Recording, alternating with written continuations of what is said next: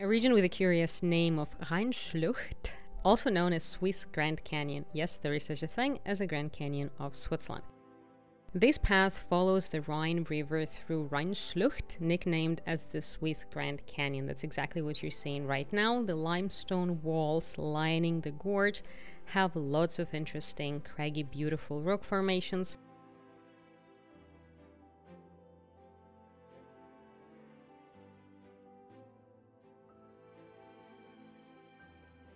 Here you can also ride a vintage open air train, which was an experience in and out of itself.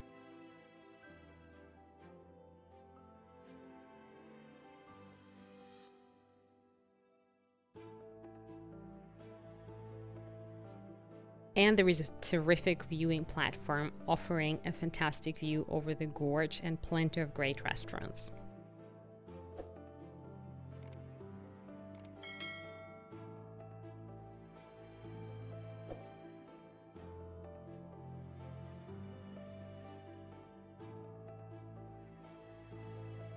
And that would be all that I wanted to share with you for the top 10 hikes of Switzerland. Thank you so much for joining. Don't forget to like, don't forget to subscribe, and see you soon.